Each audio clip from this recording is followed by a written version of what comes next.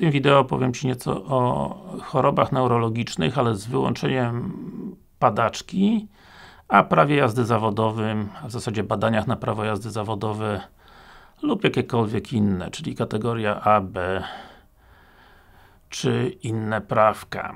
Zapytanie mojego widza. Witam serdecznie. W 2009 roku uległem wypadkowi, a mianowicie doznałem urazu kręgosłupa. Na dzień dzisiejszy posiadam orzeczenie o umiarkowanym stopniu niepełnosprawności 10 myślnik N i 0,5 myślnik R.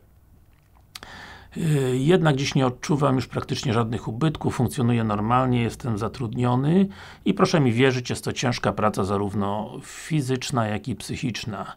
Chcę ubiegać się o prawo jazdy kategorii C, a potem C plus E i czy jest szansa, że przejdę badania lekarskie? Jaki będzie konkretny wynik w tym przypadku, to nie wiem, nie wróżę z fusów, nie jestem prorokiem, natomiast pozostaje mi tylko zacytowanie Tobie przepisu.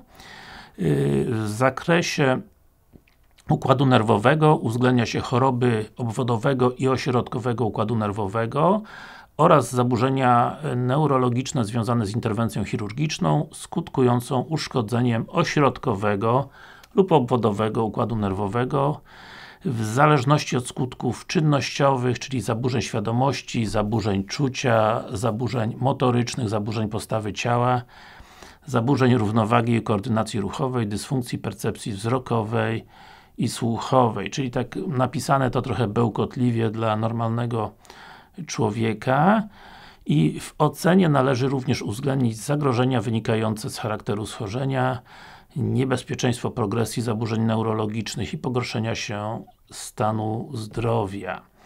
I kluczowym jest tutaj tak, taki punkcik drugi. W przypadku schorzeń neurologicznych może być wymagana opinia lekarza neurologa, a w przypadku padaczki, której tutaj nie omawiamy, opinia lekarza neurologa jest konieczna, czyli teoretycznie mm, tenże lekarz y, uprawniony do badań kierowców może chcieć tego neurologa, ale nie musi.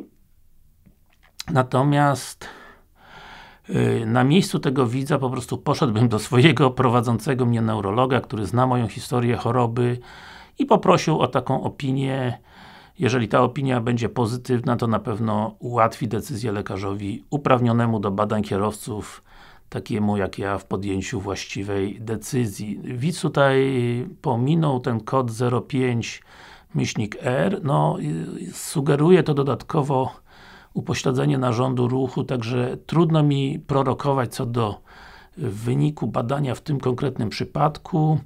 Jeżeli by widz został dopuszczony do tegoż to do tej kategorii prawa jazdy to może mieć tutaj skrócony termin ważności, czyli zamiast 5 trochę krócej, może mieć dodatkowe kody ograniczeń prawa jazdy, szczególnie y, dotyczące narządu ruchu. Y, czy to jest dobry zawód dla kierowcy, który ma takie schorzenie, które jest po urazie kręgosłupa? No nie jestem pewien.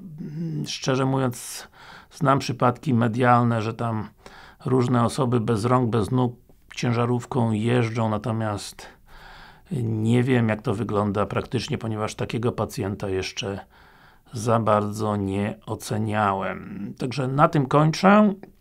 Mówił Darek Kraśnicki z Wrocławia, lekarz specjalista medycyny transportu. Jak Cię interesują takie filmiki, zasubskrybuj mój kanał YouTube Lekarz Medycyny Pracy bardzo często wysyłam nowy materiał, a subskrybenci otrzymują go jako pierwsi. Możesz też obejrzeć, klikając w ten kwadracik, inny filmik, y, również dotyczący badań kierowców.